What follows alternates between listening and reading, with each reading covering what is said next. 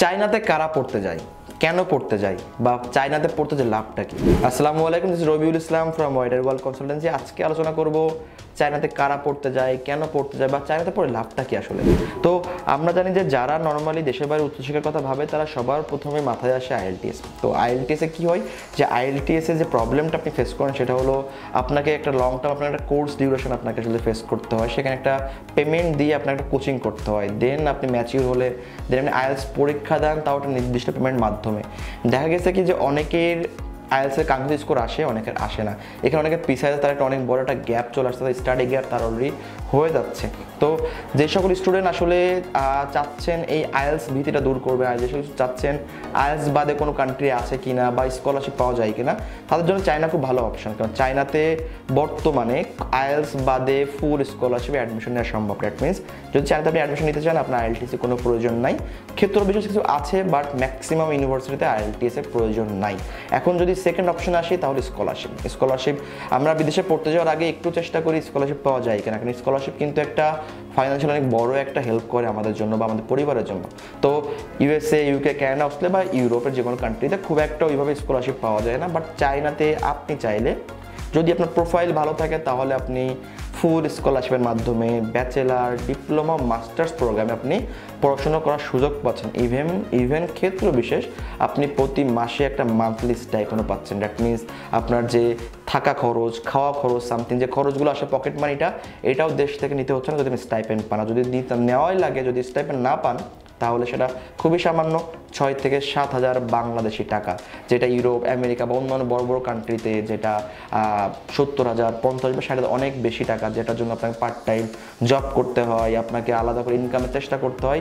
Ultimately তখন আপনি কিন্তু পড়াশোনা থেকে ফোকাস ওইভাবে করতে পারছেন না। বাট চায়নাতে যেহেতু কস্টিং অনেক কম স্কলারশিপ অনেক বেশি, তো এখানে পুরো টাইমটা আপনি কিন্তু আপনার একাডেমিকের দিকে ফোকাস করতে পারছেন।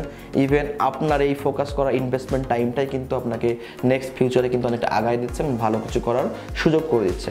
আমি থার্ড যদি একটা পয়েন্ট বলি যে ভিসা রিজেকশন বাইরের বড় বড় যে- কান্ট্রির কথা বলেন না কেন, বড় বড় কান্ট্রির কথাগুলো, সকলগুলোতে কিন্তু একটা কমন প্রবলেম থাকে ভিসা রিজেকশন আমি, আপনার আইএলটিএস আছে, আপনার ফাইন্যান্সিয়াল ক্যাপাবিলিটি ভালো, আপনার প্রোফাইলে ভালো স্কলারশিপ পেয়েছেন বাট আলটিমেটলি আপনি শিওর না যে আপনি আসলে ভিসাটা পাবেন কিনা। আর ভিসা যদি না পান, তাহলে এই previous application fee embassy fee documentation fee বা হাবিজের যে ফিগুলো আছে একটা কান্ট্রির প্রসেসিংটা করতে, সেখানে কিন্তু অনেক বড় একটা কিন্তু অ্যামাউন্ট লস হয়। বাট চায়নার ক্ষেত্রে এমন কোনো প্রবলেম নাই। চায়নাতে অ্যাডমিশন হলে আপনার ভিসা ইনশাল্লাহ হান্ড্রেড পার্সেন্ট এখন পর্যন্ত। আগামী সিচুয়েশন কি সেটা আমরা আসলে কেউ জানি না।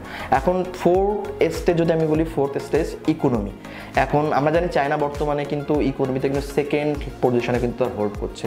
ইভেন আপনি যেও জানেন যে আপনি যে ডিভাইস ইউজ করছেন, সেটাও কিন্তু কোনো না কোনো চাইনিজ কোম্পানির ডিভাইস ইভেন বাসায় যে ডিভাইসগুলো আছে বা কোথাও না কোথাও আপনি দেখবেন, বাসায় আপনার চাইনিজ কোম্পানির কোনো না কোনো প্রোডাক্ট আছেই। এটা আপনি চাইনিজ থেকে চাইনিজ কোম্পানি থেকে আপনি দূরে যেতে পারছেন না। আলটিমেটলি সে ঘুরে ফিরে আপনি সেই সেটার মধ্যেই আছেন তো আপনি চায়নাতে পড়তে যান, তাহলে আপনার কী হবে? আপনি কালচারালভাবে আপনি ডাইভার্সিটি অফ কালচার পাবেন।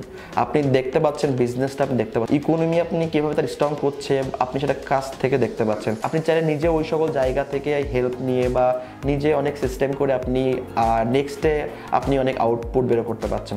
ফাইভ এক্সটে যদি আমি বলি ভ্যালু অফ সার্টিফিকেট বাইরের দেশের মতো চায়না সার্টিফিকেট অনেক অনেক ভ্যালু ক্রিয়েট করে। বাংলাদেশ থেকে যারা আসলে বড় বড় কান্ট্রি যেতে চায়, অনেক সময় তাদের ভিসা রিজেকশন আসে। তারা যদি একটু চায়, তারা যদি একটু ওয়াইজলি চিন্তা করে যে ভিসা কেন তো রিজেক্ট হয়? ভিসা কিন্তু আসলে রিজেক্ট হয় মেইনলি ফর ইমপ্রেশন যে আমাদের পাসপোর্ট যখন আমরা অ্যাপ্লাই করি ভিসার জন্য বড় বড় কান্ট্রিতে তখন আসলে আমাদেরকে দেখলে তারা সিরিয়াস মনে করে না ফর এডুকেশন তারা মনে করে আসলে আমরা যাচ্ছি ওই কান্ট্রিতে সেটেলমেন্ট অথবা আর্নিংয়ের জন্য। দ্যাট মিনস এই কারণে কিন্তু ভিসাগুলো ম্যাক্সিমাম রিজেকশন আসে। কিন্তু যদি আপনি সাপোজ আপনি চায়নাতে আপনি পড়াশোনা করলেন থ্রি ইয়ার ফোর ইয়ার। তারপর যদি আপনি অ্যাপ্লাই করেন ফর ইয়ার ফার্দার এডুকেশন বড় বড় কান্ট্রিতে তাহলে রিজেকশন রেট কিন্তু অনেক কম। তো আমরা সবাইকে বলি, চায়নাটাকে আপনি ইউজ করতে পারেন আপনার ব্রিজ হিসাবে ফর ইয়োর ড্রিম কান্ট্রি তো যারা একটু আসলে ওয়াই যাদের আসলে ফাইন্যান্সিয়ালি একটু ক্যাপাবিলিটি কম, বা যারা চাচ্ছেন যে কম খরচে ভালো একটা উচ্চ উচ্চশিক্ষা নিতে, বা যারা চাচ্ছেন যে পরিবার থেকে খুব একটা সাপোর্ট না নেবেন, বা যারা চাচ্ছেন আইএলস করে টাকা নষ্ট করবেন না তো যারা একটু শ্রোতার বিপরীতে চিন্তা করে তারা কিন্তু সবাই চায়না কিন্তু তারা কিন্তু অপশন হিসেবে দেখছে। তো ভালো অপশন হিসেবে। আপনারা যারা চায়না চায়নাতে উচ্চশিক্ষার ইন্টারেস্টেড বা আপনারা চান যে আপনার এডুকেশন ক্যারিয়ারটা চায়নাতেই হবে, তাহলে আপনারা চাইলে আমাদের অফিসে ভিজিট করতে পারেন। ডিসক্রিপশন বক্সে আমাদের অফিস অ্যাড্রেস আমাদের হোয়াটসঅ্যাপ নাম্বার সকল কিছু দেওয়া আছে। আমাদের কাছে university varsity plus scholarship condition list করে সব কিছু করা আছে। আমরা পাঁচ বছরের বেশি সময় ধরে চাইনার বিভিন্ন ইউনিভার্সিটি ও স্কলারশিপ নিয়ে কাজ করে থাকি। তো আপনারা চাইলে আমাদের সাথে কথা বলে আপনার উচ্চশিক্ষার জার্নি সম্পূর্ণ করতে পারেন। আসসালামু আলাইকুম ভালো থাকবেন। দেখা হবে নতুন কোনো ভিডিওতে।